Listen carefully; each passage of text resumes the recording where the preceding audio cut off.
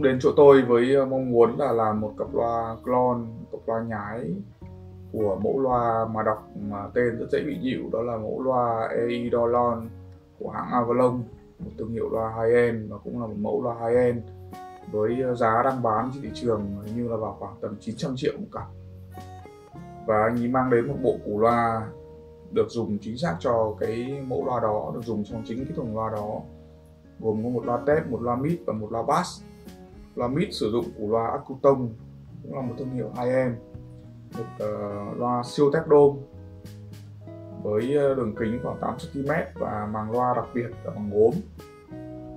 Con này có tên là C25 603 013 đúng không? Uh, có côn bằng nhôm giúp cho cái việc tản nhiệt nó tốt hơn và ít tổn hao năng lượng hơn.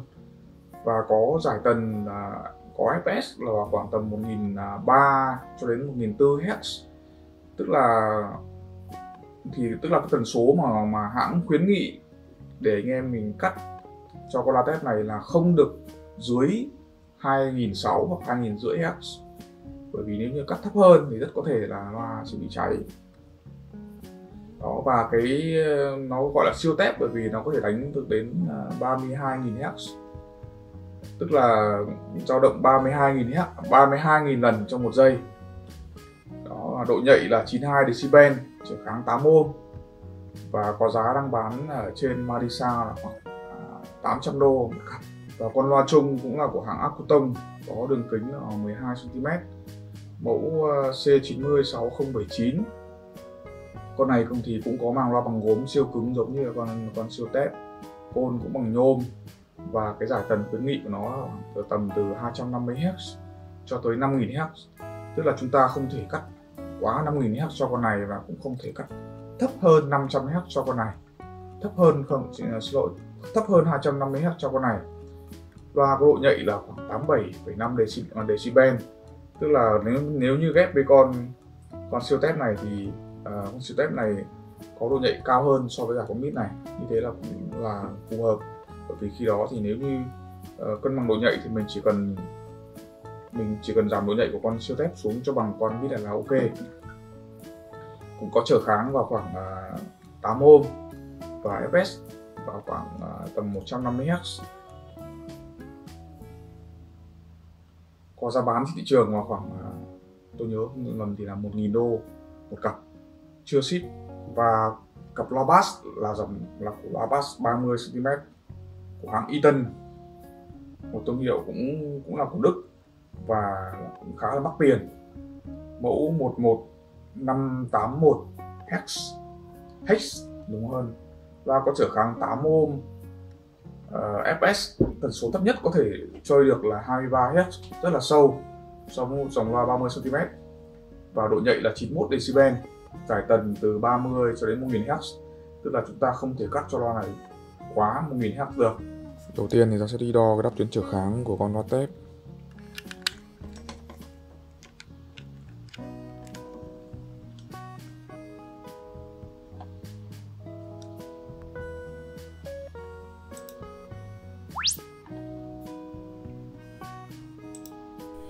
Là đáp tuyến trở kháng của con tép và Akutong.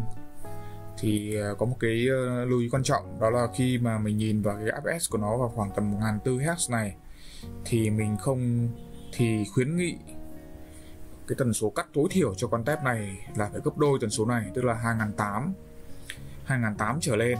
Nếu như mình cắt dưới 2008 thì rất có khả năng uh, con tép này sẽ bị cháy. Đó và đây là đặt tuyến trở kháng của con Acutone C96079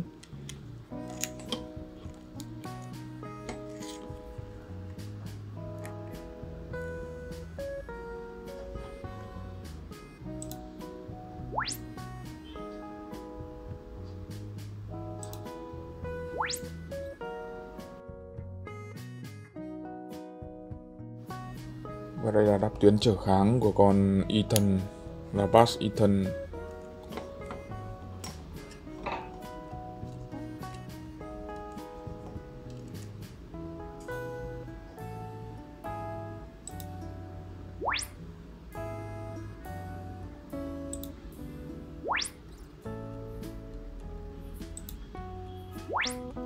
Có thể thấy là nó rất là giống với cả đáp tuyến trở kháng mà nhà cung cấp và mà nhà sản xuất cung cấp ở trên website của họ.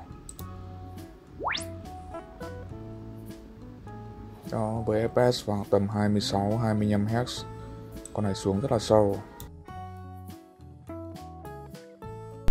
Đây là đáp tuyến của con à, tép Akutong mọi người có thể thấy ở đây đáp tuyến nó rất là đẹp và rộng cho phép mình có thể cắt con này rất là sâu thậm chí từ 2000, rất là bằng phẳng và đẹp. Tất nhiên là có thiếu một chút đây nhưng mà sẽ không đáng kể vì tiếng con này rất hay. Đây là đáp tuyến của con Acutong con à, uh, loa có thể thấy đáp tuyến của nó cũng uh, có dài tần à, rất là rộng có thể chơi đến gần 10 ngàn. Đây là đáp tuyến tần số của con loa bass ethan dùng trong bộ Avalon Eidolon. Đáp tuyến tần số của con này khá tương đối là là là gọn, chỉ trong khoảng tầm 2000 Hz đổ lại sau khi đã có các cái thông tin cần thiết của ba driver này để ờ, thiết kế phân tần như là đáp tuyến trở kháng, đáp, đáp tuyến tần số thì tôi sẽ sử dụng cái một lần nữa cái cái phần mềm Mixim hết sức là thân thiện và trực quan để thiết kế phân tần cho bộ Avalon này. Nhưng mà trước khi mà thiết kế thì ờ, tôi muốn chia sẻ thêm một chút với anh em. Cái ờ, hãng Avalon là một trong những hãng mà có nhiều sản phẩm được anh em trên toàn thế giới clone và deep lại nhiều nhất. Và anh em chơi theo rất nhiều và kiểu kiểu clone khác nhau người thì chỉ clone mỗi hình dáng thôi. Tức là sử dụng cái uh, thiết kế loa của hãng với các cạnh được vát để hạn chế các cái hiệu ứng tán xạ của âm thanh khi nó ra khỏi màng loa và nó đập vào thành loa nó quay trở lại và nó triệt tiêu cũng như làm thay đổi pha của cái tín hiệu chính đi ra từ màn từ từ từ từ màng loa từ màng loa chính.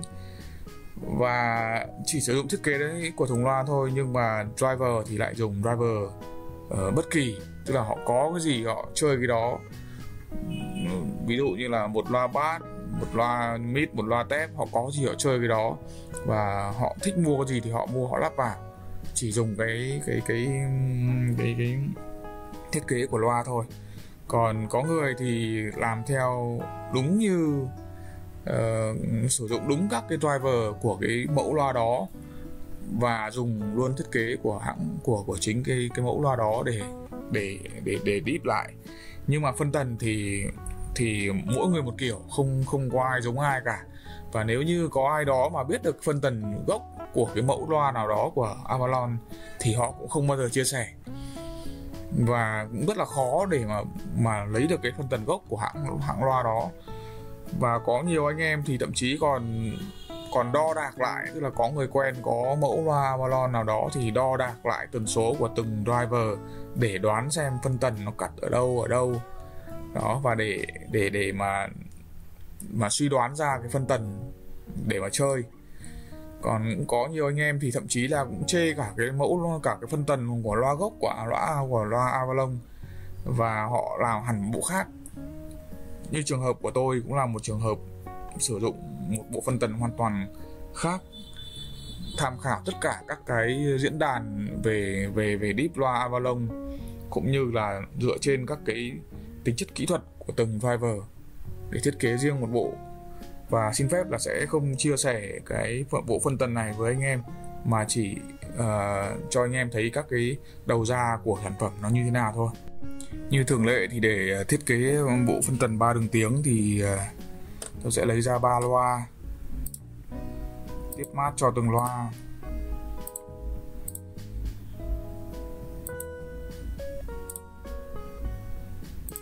Sau đó rồi đưa các cái đáp tuyến trở kháng và đáp tuyến tần số vào từng cái loa này tương ứng với từng loa mà đo đạc à, đã đo đạc mà đã mà đo đạc được. Ví dụ như là loa tép Acutong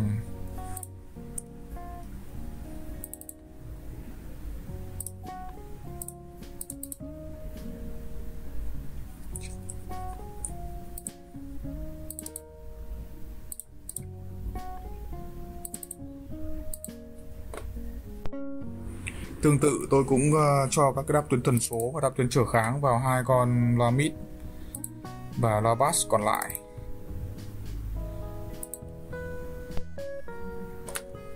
Con tép thì tôi xác định cấp bậc 3 vì vậy tôi sẽ điền vào đây ba ba linh kiện. Điền vào trước rồi sau đó sẽ điều chỉnh sau. Vì các cái uh, thông tin như là tần số cắt ở đâu và chỉ số linh kiện bao nhiêu thì tôi xin phép sẽ không chia sẻ cái này. Và nó coi như nó là một cái phần à, chất xám của của shop. Và sẽ không chia sẻ với anh em.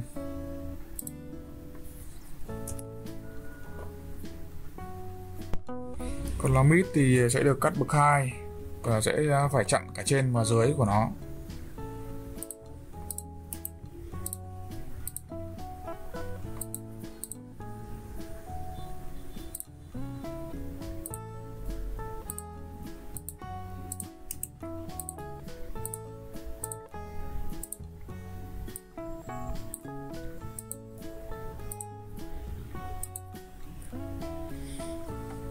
Cái màu đen này là màu của loa tép, màu vàng của loa mid để tạm đó và chưa điều chỉnh gì vội. Với con loa bass thì à, sẽ cắt bậc 2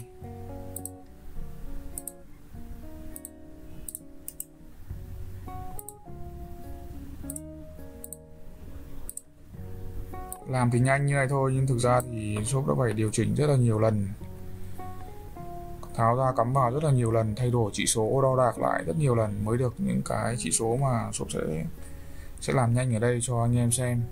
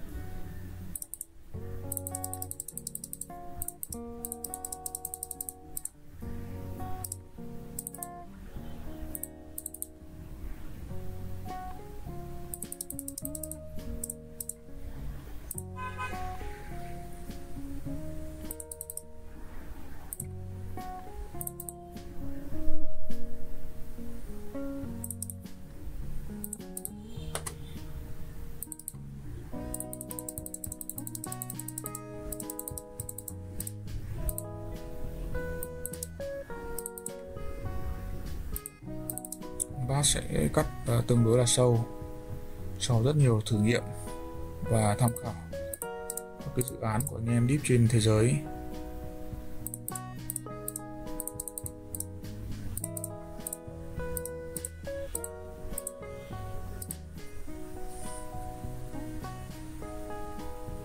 Nhìn như là đã có thể thấy được là con con lá mít này hơi trội và mình sẽ cần phải điều chỉnh lắp thêm một cặp trở LPAD vào đây để giảm bớt độ nhạy của nó đi.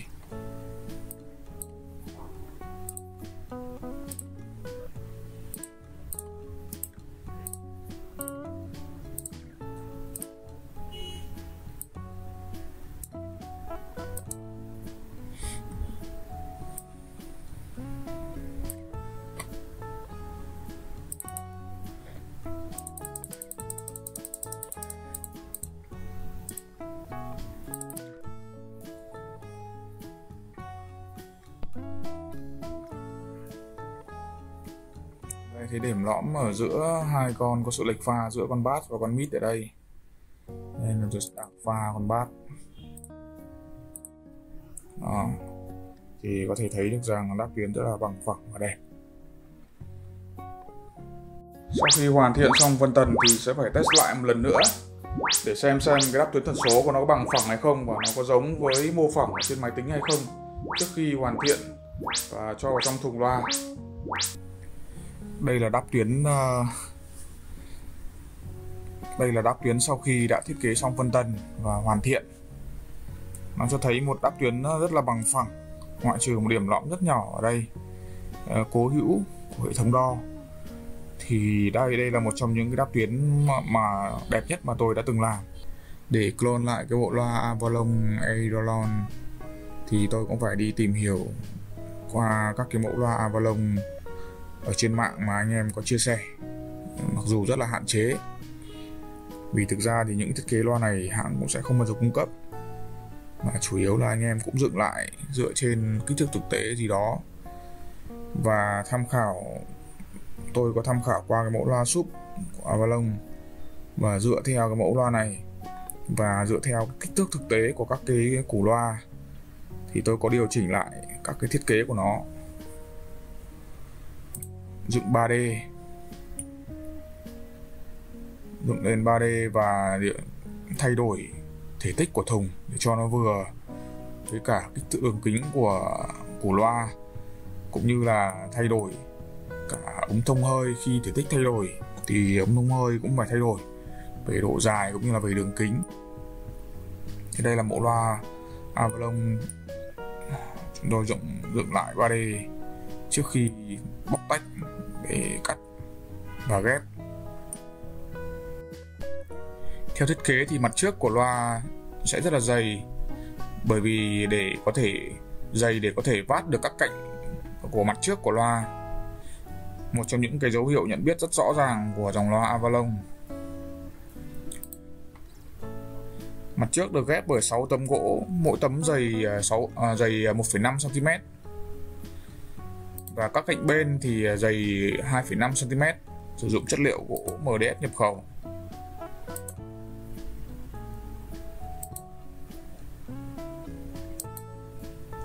Đây là các cái tấm pressing ở bên trong thùng loa vừa ừ, giúp cho loa chắc chắn mà vừa để triệt tiêu các sóng đứng hình thành bên trong thùng loa.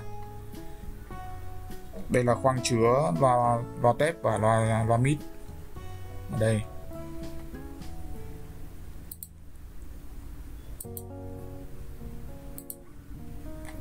Loa sử dụng gỗ lạng nhập khẩu cao cấp.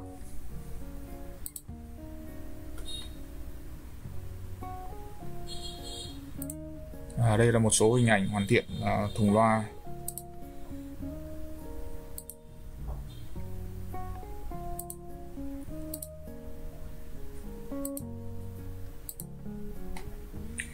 Đây là hình ảnh đây là mặt đáy của thùng loa được sơn đen. Có thể thấy ở đây uh, ống thông hơi được quay xuống dưới ống thông hơi này cũng là ống thông hơi nhập khẩu của gian gen. Và đây là chạm loa thay cho thay cho cọc loa, được bố trí ở phía dưới đáy của thùng loa để để giúp cho loa có tính thẩm mỹ ờ, hơn. Và loa được đặt sẵn bốn con ốc để lắp chân đinh chân hứng nếu cần sau này. Dây loa sử dụng dây loa của gian gen audio, dây loa mạ bạc cho giải cao và giải trung đầu cốt sử dụng đầu cốt của Mundorf loa bass sử dụng uh, dây loa Supra 2.2 x 2.5 đây là hình ảnh hoàn thiện của đôi loa Avalon Eidolon. Một chất liệu lạng à, nhập khẩu hoàn toàn. Chất liệu lạng cao cấp.